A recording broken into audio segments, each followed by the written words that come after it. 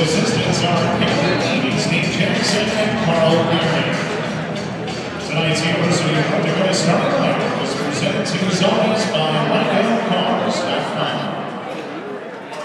I think I'm the most... And now, ladies and gentlemen, this time we ask that you please rise and chant kindly under your campus. for the presentation of the colors this evening by the University of North Dakota Army ROTC Color guard.